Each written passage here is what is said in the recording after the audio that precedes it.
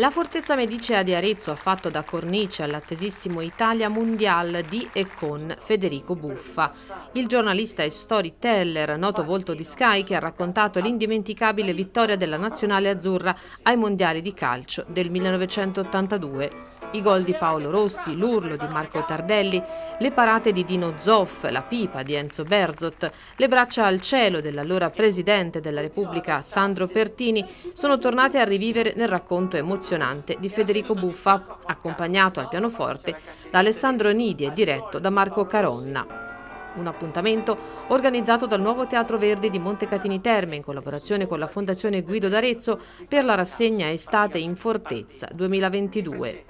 Lo spettatore è stato letteralmente accompagnato dietro le quinte dei mondiali di Spagna e sentirsi di nuovo campioni del mondo, perché quando lo si diventa una volta lo si resta per sempre.